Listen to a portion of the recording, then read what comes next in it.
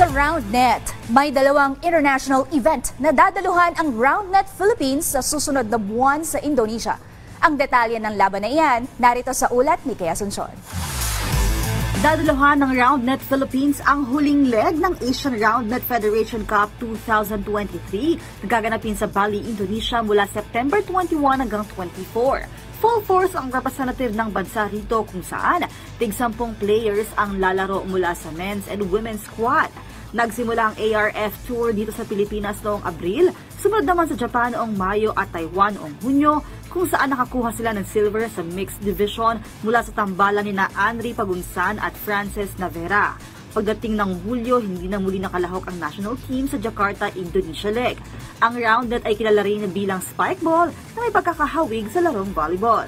So our team is composed of different players, teams from Visayas, meron from Manila, meron from other provinces in Negros Oriental. So um, we we had our pre-tournament to have our selection and then this coming September Uh, ngayong August to September will be our hard preparation na rin po. So we're planning also from Manila to travel to to Dumaguete to have our boot camp preparation and then we'll travel off to Bali. Susulitin rin nila itong pagkakataon na ito para sa pangarap na makalahok sa second World Round Net Championship sa Setyembre ng susunod na taon. So for Roundnet Philippines, this will be a, the, the top tournament in Asia So we are trying to aim for the championship. This will be the first ever Asian championship. And next year, 2024, will be the second world championship for the sport of roundnet. So this will be a good uh, preparation and achievement if we will win the championship. We're going to have the confidence and momentum going into the world championship as our debut for the Philippines for the first time.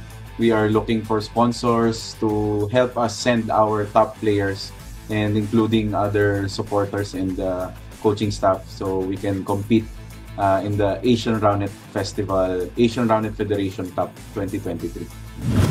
Susubukan ng Pilipinas na makipagtapatan sa powerhouse Taiwan, Hong Kong, Japan, Australia at host country Indonesia. Bukod sa ARF Final Series, lalahok rin ang national squad sa Bali International Roundnet Open sa September 23. Kaya Asuncion, PTV Sports.